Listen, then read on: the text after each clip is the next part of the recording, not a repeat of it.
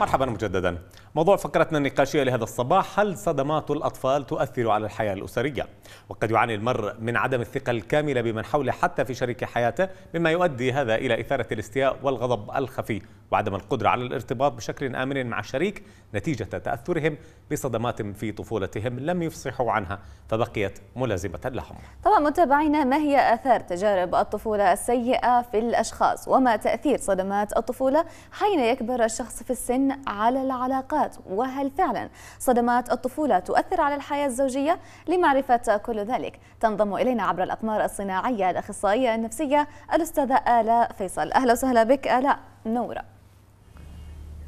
أهلين فيكي. يا مرحبا فيك ست آلاء. إذا بداية ست آلاء هل هناك علامات تظهر على الزوجين قد تدل على تعرضهم لصدمات في الطفولة؟ وكيف تظهر هذه الصدمات في العلاقات عند الكبر؟ هو طبعا بالبداية الصدمات تختلف أنواعها. يعني في عدة نوع آه، ممكن يؤثر على الفرد ويؤثر على الحياة الزوجية. ومن أكثر الصدمات اللي ممكن اللي هي تأثر على الحياة الزوجية اللي هي صدمة الفقدان إنه الطفل أمه وأبوه مثلا وهو صغير ينفصلوا أو مثلا يتوفى أحد الأفراد.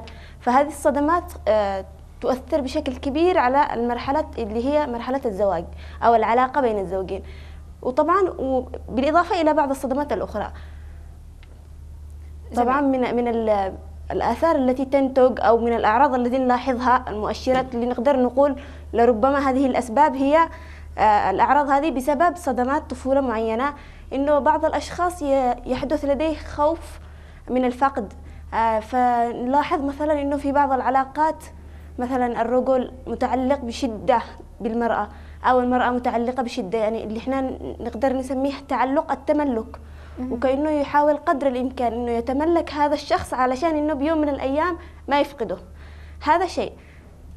الشيء الثاني ممكن إنه يكون آه إنه يعاني هذا الشخص من من آه من خوف وقلق إنه بيوم من الأيام ممكن هذا الشخص يتركه. فبالتالي آه أحيانا آه يسعى إنه يغير شخصية هذا الفرد.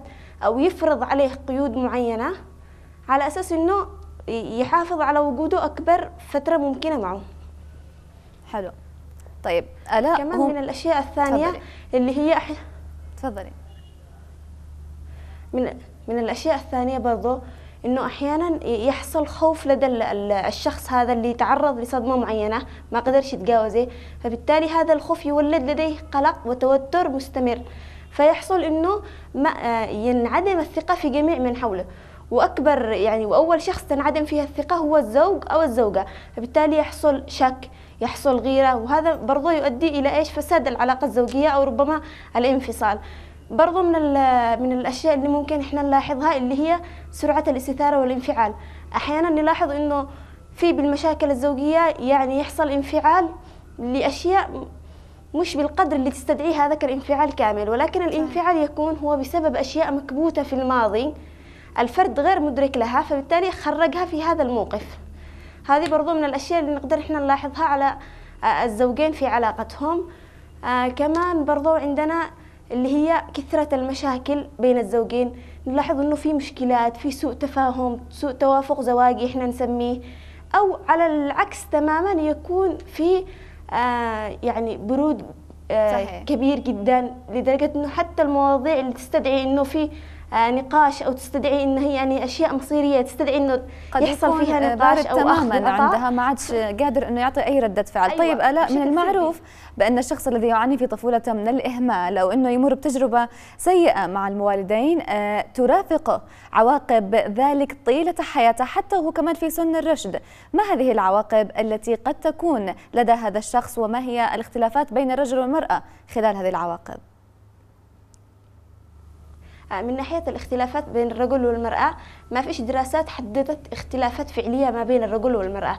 ولكن في اختلاف ما بين الجنس الواحد أو حتى ما بين الجنسين. بمعنى مثلا آه، اللي قد يكون أنا مثلا عندي آه، أعتبره أنه شيء محزن أو أنه صدمة معينة في اختلاف عندك ما يكونش يعتبر شيء محزن أو صدمة كبيرة في حياتك. ففي اختلافات ما بين شخص وآخر بغض النظر عن مفهوم الجنس سواء كان ذكر أو أنثى.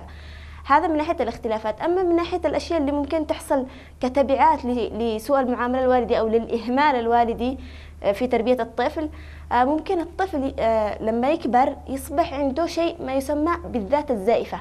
الذات الزائفة معناته إن إحنا لما نلاقي رفض من أهالينا أثناء الطفولة أو عدم اهتمام أو إهمال أو عدم محبة أو تعامل بطريقة سيئة عنف جسدي أو لفظي هذا يولد لنا إن إحنا نحاول آه، الطفل هذا يتصنع شخصية معينة عشان يكسب اهتمام ومحبة الأشخاص اللي حوله فتتكون لديه شخصية تسمى الذات الزائفة يكبر وهو عايش بهذه الشخصية فيوصل لمرحلة معينة يحس إنه هذه مش شخصيتي ولا هذا طريقة كلامي ولا هذا طريقة تعاملي ولكن تعود ومارسها كطريقة لإيش؟ آه، حتى يحصل على التقبل من الناس اللي حوله. فهذه ما تسمى الذات الزائفة وطبعا يحصل له انتكاسات في فترة من الفترات. إذا زاد الضغط يحصل له انتكاسة لأنه أساسا هو كأنه لابس شخصية مش مش شخصيته. ولا تعبر عنه ولا تمثله. هذا هذا جانب. في أيضا من الأشياء اللي هي تعتبر مؤهلات لوجود اضطرابات نفسية. زي مثلا القلق التوتر الخوف آه، ممكن تحصل اكتئاب برضه بسبب الإهمال الوالدي. ممكن لو نلاحظ حتى بالفترة الأخيرة في حالات كثيرة من الانتحار سواء على مستوى اليمن أو حتى على مستوى العالم. آه نلاحظ إنه في بعضهم يفتحوا كذا بث مباشر أو يرسلوا فيديوهات معينة إنه خلاص أنا بنتحر. آه، أصلا آه، مثلا أهلي كانوا يعاملونا بطريقة سيئة أو بيتنا يعاملونا بطريقة سيئة وكذا فبالتالي قد توصل تبعاتها حتى إلى مرحلة إيش؟ الانتحار. هي تبدأ بشيء بسيط ولكن تتفاقم مع مع المشكلة. نعم. برضو يتولد لدى الشخص عدم ثقة ونفور من الأشخاص ويحاول إنه قدر الإمكان يكون مجتمع خاص فيه منعزل. يعني قدر الإمكان يكون منغلق على غرفته منغلق على مثلا واحد من اثنين من أخوانه. ما يكونش علاقات كثيرة لإنه كان آه، في ترسبات كبيرة من مرحلة الطفولة نعم. وأيضا ممكن يعكس هذا حتى على تعامله مع الأشخاص بشكل يعني بشكل عصبي بشكل آه، آه، عدواني العدوانية كمان تظهر كثير وكأنه نعم. العنف كانوا بيدافع ربما عن نفسه وبيدافع عن المشكلة يعكسه. التي عانى منها في الصغر وما عرفش في حينها إنه يدافع عن نفسه يمكن بيعتبر هذا الموضوع نفسيا بعقله اللاواعي دفاع عن النفس. طيب ست آلاء كيف تؤثر إذن الصدمات النفسية التي عاناها من الزوجين في صغرهما على أبنائهم تحديدا؟ والأطفال عادة سلوكهم ينشأ من البيئة اللي هم موجودين فيها وإلى أي مدى تؤثر هذه التنشئة الاجتماعية في الصغر على المشكلات الأسرية مستقبلا؟ تحديدا على الأبناء. آه، إحنا بالبداية نعتبر آه، إنه مرحلة الطفولة هي كأن اللبنات الأساسية لبناء الشخصية. وكأنه معنا لو بنبني مبنى معين إحنا لازمنا عمدان. العمدان هذا هو اللي تستقيم عليه الشخصية كامل. عمدان الشخصية هي مرحلة الطفولة. وطبعا العالم فرويد اتكلم عن هذه المرحلة إن هي يعني من أهم المراحل اللي يمر فيها الفرد واللي هي تبني شخصيته بجانب كبير جدا. فمرحلة الطفولة تعتبر من أهم المراحل وأي عرض أو أي صدمة أو أي مشكلة تحصل أثناء فترة الطفولة هي تؤثر على الشخص إلى مرحلة الممات. سواء بإدراك أو وعي أو حتى بدون بدون وعي اللي هي تنتقل المشكلة من من من العقل اللاواعي إلى العقل اللاواعي فبالتالي تظهر آثاره ولكن إحنا مش متذكرين المشكلة نفسها. هذا جانب. طبعا ممكن إنه يتأثر كيف؟ عن طريق مثلا إنه بعض الأشخاص آه، الشيء اللي تم ممارسته عليه من أهله على طول يعكسه بشكل مباشر على أطفاله.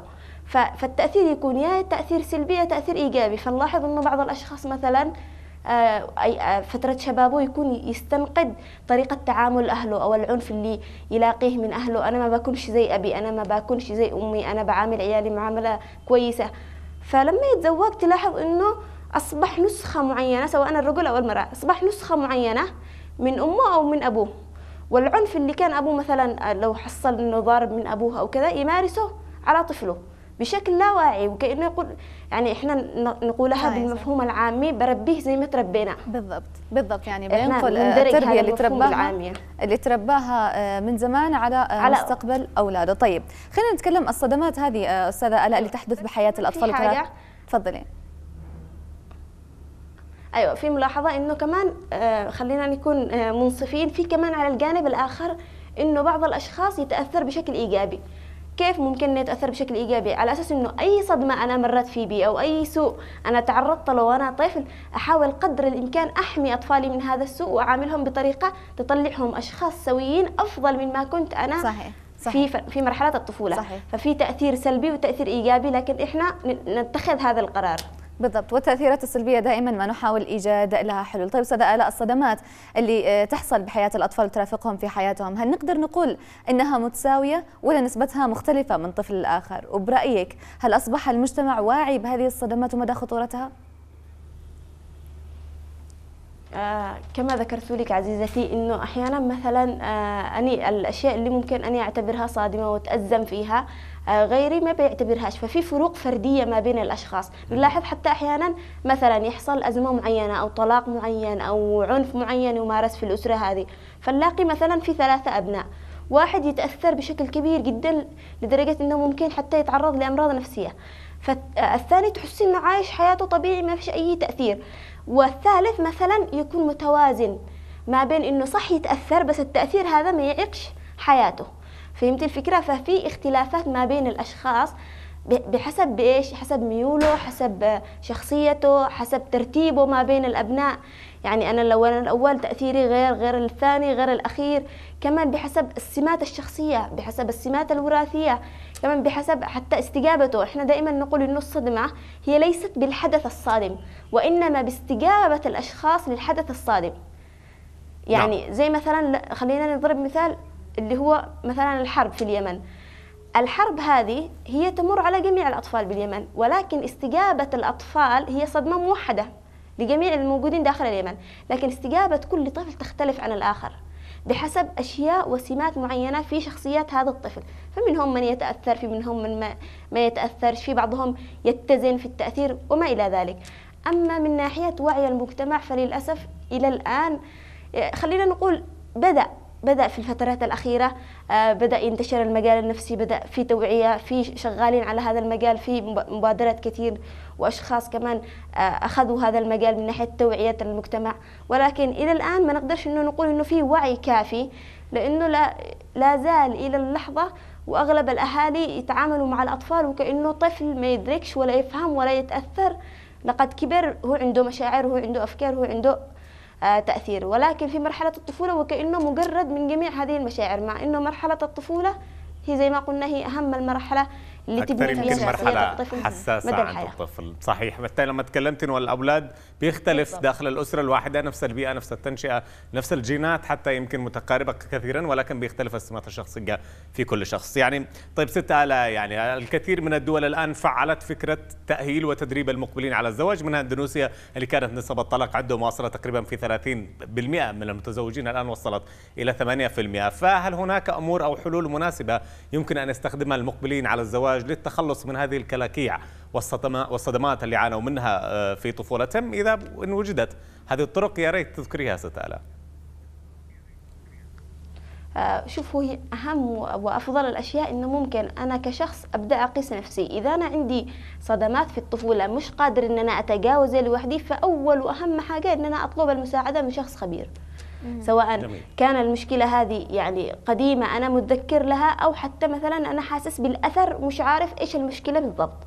فلازم إن أنا أتوجه لأخصائي سواء أخصائي اللي هي استشارات زواجية ما بين الأشخاص أو حتى استشارات فردية اللي هي على أساس انه أنا أحل المشكلة الموجودة عندي في مرحله الطفولة. على أساس إن أنا لما أبدأ حياة زوجية أبدأ حياة زوجية وأنا آه، فرغت الأول كامل بحيث إن أنا كبداية جديدة كمرحلة انتقالية أنا مستعد لكل الواجبات اللي فيها لأنه نحن نعرف إنه مرحلة مثلا أول ما يخطي خطوة إنه أدخل أنا حياة زوجية سواء كنت رجل أو كنت امرأة ففي واجبات كثير مطلوبة علينا غير مرحلة العزوبية غير إنه لما أنا شخص في أشخاص مسؤولين عني أنا الآن مسؤول عن زوجة مسؤول عن أبناء مسؤول عن جيل أنا أربي جيل فمستحيل إن أقدر أربي جيل وأنا في داخلي أصلا أشياء تحتاج تحتاج لتعديل فلازم إن أنا أبدأ أشتغل على نفسي علشان أقدر أشتغل على أبنائي وأعتبرهم مشروع ناجح أقدمه للمجتمع.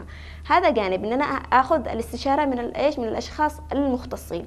برضو إذا حسيت إنه مثلا ال ال الصدمات كانت بسيطة ومش مؤثرة بالأثر هذا الكبير يعني أنا بقدر أن أنا أتجاوز أنا بيني وبين نفسي فممكن ان أنا أسترجع الصدمة في الوقت الحالي أسترجع الصدمة كامل اللي أنا مريته في بي اللي أنا حاسس ان هي مؤثرة في بي وأفند الآثار اللي ممكن تحصل لي من الصدمة. مثلا آه، أنا كشخص انفصلوا أمي وأبي أو توفى أحد الأفراد من من بيتي فأنا حسيت إن أنا المشكلة هذه ما قدرتش أتجاوزها. أحاول أسترجع المشكلة من أول ما حصلت للاثر اللي حصل فيها وكأننا أعيد الشريط هذا كامل. هذا الإستعادة هذه تساعد في في علم النفس تساعد ان تخفف حدة الشعور اللي يحصل للفرد أثناء تذكر المشكلة هذه فبالتالي يخف الشعور نفسه. وبعدين أبدأ افند أشوف هي إيش مؤثرة علي في حياتي الجاية. أنا صداقاتي قليلة أنا مثلا مش عارف أستقر بموضوع زواج أخطب المرة الأولى أخطب المرة الثانية أخطب المرة الثالثة. مش قادر أو يتزوج وينفصل يتزوج وينفصل يتزوج وينفصل. طبعا والكلام عن الرجل والمرأة بنفس الشيء. فأبدأ أفند إيش الآثار اللي اللي تاثرت بها أنا من المشكلة أو من الصدمة اللي حصلت لي. واحاول أعالج الآثار على أثر أثر بحيث إن أنا كأننا أفصل. أنا لما أجي المشكلة ككل تحسها زي الكتلة لكن لما أجي أفندها على حاجة حاجة ممكن حله يكون أسهل شوية. خطوات حبة حبة. وأحاول كمان أتكلم فيه مع أشخاص ذو ثقة. سواء صديق أهل آه، شخص أنا أحس إنه هو شخص ثقة فحاول إن أنا أتكلم معه وأحكي له الموقف أكثر من مرة على أساس إنه يحصل عنده آه، تقليل من الاستثارة أو الاستجابة صحيح. لهذا صحيح. الموقف في الحياة هذا من نوع من أنواع العلاج بالكلام جميل آه، جميل أستاذ آلاء طيب عندي سؤال آه مهم بما إنك أخصائية نفسية يعني الكثير من الأشخاص من الذين قد تعرضوا آه لصدمات آه في الماضي ويعيشونها في المستقبل آه للأسف للأسف لا يذهبون إلى الأطباء النفسيين بحجة أن من يذهب إلى الطبيب النفسي مختل عقليا، أعطينا بس نصيحة للي يتابعونا واللي عندهم صدمات نفسية أو اللي حابين إنهم يروحوا للأطباء النفسيين آه بحول هذا الموضوع. آه بشكل عام أنا دائما أقول لهم آه، أنا إذا عندي مرض جسدي وقلت ما بروحش لعند الطبيب علشان إنه الطبيب هذا مش تمام أو علشان إن أنا مثلا ما يقولوش الناس علي مريض أو, أو أو أو فأنا بموت. يعني نهاية الموقف هذا هو عبارة عن موت سواء موت آه، جسدي أو موت نفسي. نفس الفكرة بالجانب النفسي. أنا إذا أهملت المشكلة من موضوع صغير إحنا يعني هو بالأول وبالاخير الأخصائي النفسي أو الطبيب النفسي هو عبارة عن صديق. لكن الفرق بينه وبين الشخص العادي إنه أنا كصديق عندي خبرة إن أنا أوجهك على النقاط الصحيحة في حياتك وكان أنا أضوي لك على آه، مخارج معينة أنت تختار المخرج اللي يناسبك من المشكلة. ولكن أنت طالما وأنت داخل المشكلة كأنك جالس بمتاهة. مستحيل إنك تقدر تعرف إيش المخرج الصحيح اللي أنت بتقدر تأخذه. هو فقط الأخصائي النفسي إيش؟ ينور الأماكن المعينة اللي تحتاج تعديل في شخصيتك. فأنت اللي تشتغل شخصيتك أنت اللي تعدل سلوكك أنت اللي تعالج نفسك من المرض. الأخصائي النفسي فقط هو مساعد وصديق. يوجهك كيف أنا ممكن أنا اللي أنت بتخرج منه؟ نعم. يعني ست آلاء للأسف هي مفاهيم مغلوطة في, في المجتمعات العربية؟ ربما كلها ست آلاء مش بس حتى عندنا في اليمن في أغلب المجتمعات العربية بيرفضوا للأسف مقابلة صحيح. الطبيب النفسي وهي نفس المشكلة. عندك مرض جسدي أو مرض نفسي كلهم بيأدوا إلى نفس النتيجة مضاعفات خطرة قد تؤثر على حياتك. ست آلاء فيصل وأنت أخصائية نفسية شكرا جزيلا لك على تواجدك معنا.